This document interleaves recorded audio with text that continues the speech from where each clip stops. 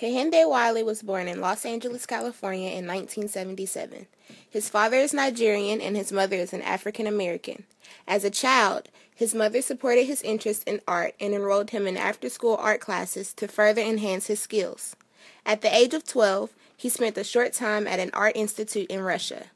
Wiley's painting style has been compared to that of traditional portraitists such as Reynolds, Gainsborough, Titian, and Ingres. As stated by the Columbus Museum of Art, which hosted an exhibition of his work in 2007, Kehinde Wiley has gained recent acclamations for his heroic paintings, which address the image and status of young African American men in contemporary culture.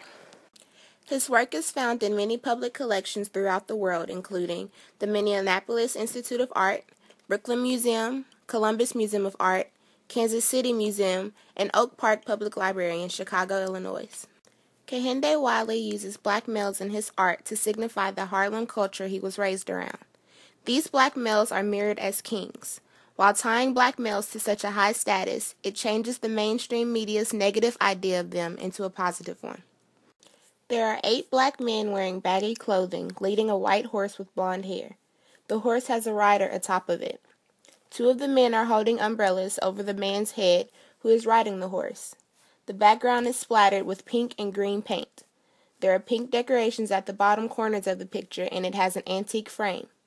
The horse has a rug-like cloth on it instead of a saddle, and the man who is riding the horse also has a blanket across his lap.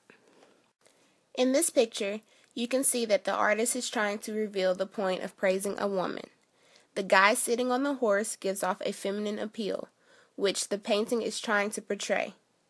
The guy holding the umbrella over the other guy on the horse shows that the guy is praising him and trying to cover him. Along with this, the painting also shows that the woman should be protected because the guy on the horse is surrounded by other guys, showing that they are trying to protect him. The horse in the painting also has a feminine touch to the face. In most of Kehinde Wiley's paintings, there is always a special print of flowers, which also portrays a feminine touch.